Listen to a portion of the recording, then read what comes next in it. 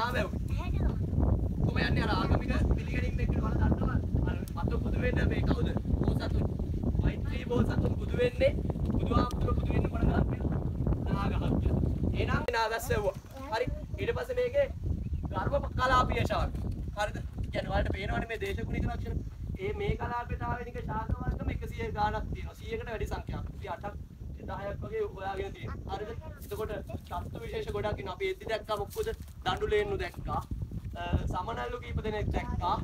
ඊට පස්සේ ඔයාලා බලාගෙන ආවද දන්නේ? දඬුලේන්නු දෙන්නෙක් නම් දකින්න ඇති. හරිද? එතකොට එතෙන්ට ආවට පස්සේ ඔයාලට පේනවා ලස්සන නේද? කන්දක් කන්ද මුදුනේ තියෙන මොන ගස්ද ඔක්කොම නිකන් පොඩි පොඩි පොඩි පොඩි ශාක. හේතුව පස් නෙමෙයි තියෙන්නේ මොකක්ද?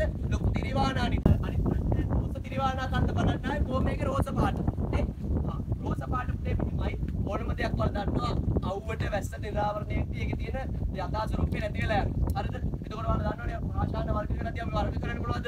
ආග්නේය පාෂාණ, අවසාදිත පාෂාණ, විපරිත පාෂාණ කියලා නේද? ඊපස්සේ මේ කෑලි කැඩෙනව නේද දැන්? මේවා කැඩිලා කැඩිලා ගිහිල්ලා මොකක් වෙනවද? පහළ භූමියක තැම්පත් වෙලා තව කාලයක් යනකොට වань ඉතින් මේ වගේවත් රෝස තිරිවානන් ඉතින් මොකක් නේද? මේ පේන කොටස් කළු පාට වෙලා යයි. මේවා අවුරශ්මියයි වැස්සයි නිසා මේ පාට වෙනස් වෙන වෙනස් වෙන යනවා. ඒකට විපර්යාසයකට පත් වෙයි. හරිද? එතකොට මොකක්ද මේ තියෙන්නේ පාෂාණ චක්‍රය. ඔයාලා දැන් ඉන්නේ මේකේ දැන් මේ කන්දේ නම් නිකන් මැද අවස්ථාවක වගේ. මේක දැන් රෝස පාටට පේන්නේ නැහැ අපිට බැලුවට. හැබැයි මේක විනාශ වෙලත් නැහැ. හරිද? දැන් ඔයාලට තව අවුරුදු 100කින් ඇවිල්ලා බලන්න. මටත් සමහරට පුළුවන් 120ක් විතර ඉන්න නිසා. නේ? හරිද? එතකොට මේ දකුණු ආසියාවේ තියෙන මේ පොළවේ මුඩට ආපු හැබැයි හරිද? පොළවේ යට නෙමෙයි පොළවේ මුඩ තියෙන ලොකුම රෝස තිරිවානා නිදිය මේක. ඒතර දකුණු ආසියාව කිව්වම හිතා ගන්න ලෝකයේ අනිත් තැන්වල මීට වඩා ලොකු රෝස නිදි තියෙනවා. ඒකනේ කියන්නේ කියන්නේ. හරි.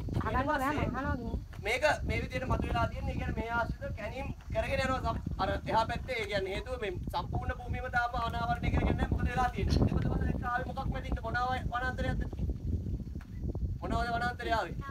නා. නේද? නා. ඒකනේ නාමල් උයන කියන්නේත් නේද? නාමල් උයන එන්නේ ආවේ. එතකොට ඇයි ඒක නාමල් උයන කුණේ කියලා දන්නවද එතකොට මේක ගොඩාක් ඈත අතීතයේ මේ අන්ති සාමාන්‍ය ගත්තොත් දේවානම් පිටිස් රජතුමා ඉතින් අර මුවාපස්සේ දිව්වේ.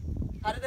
ඒ කාලේ තමයි පවතින එකක්. හැබැයි ඒ කාලේ නාගස් තිබුණේ නැහැ. පස්සේ තමයි මේකේ නාගස් වන්නේ හේතුව මේක මේ වැරදි කරන මිනිස්සු ඉන්නවනේ සමාජේ. එතකොට දැන් සමාජයේ වැරදි කරන මිනිස්සු මතාව වැරදිකාරයෝ වගේ සලකන්නේ හැබැයි ඉස්සරේම නෑ යාලව පුනරුත්ථාපනය කරලා නිවැරදිකාරයෝ බවට පත් කරගත්ත භූමියක් තමයි මේක. එතකොට ඔයාලා දන්නවද? හිරගෙදරකුණත් නේද අර අන්තරාගාරෙකුණත් වැරදි කරපු කට්ටියට අර පුනරුත්ථාපනය වෙද්දී හොඳ මිනිස්සු වෙන්න කරන්න දෙන්නේ මොනවද ගොඩක්ම ගස්වවනා වගේ දේවල් නේ ගස්වවනවා කියන්නේ ඇයි ඒ?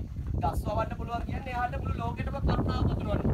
ඒක ඔයාලා දන්නවා ඔයාලගේ වවන ගහකින් පුෂ්ප ගන්න ඔයාලා විතරද? ඔයාලගේ හතුරත් පුෂ්ප ගන්නවා නේද? ආ එහෙනම් හතුරන්ටත් මෛත්‍රී කරන්න පුළුවන් මොනවද ගස්වවන්න? හරි ඒක. ඇයි තමයි 100කින් ඇවිල්ලා බලන්න. මටත් සමාජයට පුළුවන් 120 ඉන්න නිසා. නේ? හරිද? එතකොට මේ આવත් නේද? ඈ කොහොම හරි කියන ඔයාලා අනාගතේ ඇවිල්ලා බලන්න දැන් හොඳට ඔළුවට දාගන්න මේ. ඈ මේ ජි- අනාගතේ දවසක ඇවිල්ලා බලන්න තව මොකක්ද වෙනස් වෙලා තියෙන්නේ. හරි එතකොට යනකොට දැන් කට්ටිය පිළිවෙලට යන්න දැන් එනකොට ෆොටෝ ගහගෙන අපිට තව තැන් දෙකකට යන්න තියෙනවා. හරිද? ඒ තැන් දෙක ඒ මිස් වෙයි බලන්න තියෙන දේවල් මෙතනම දැන් ඇතුළු. ඒ නිසා දැන් ඉක්මනට යන්න එපා. පරිස්සමට යන්න. හරිද? මොකද මේවා ගල් කැඩෙනවා.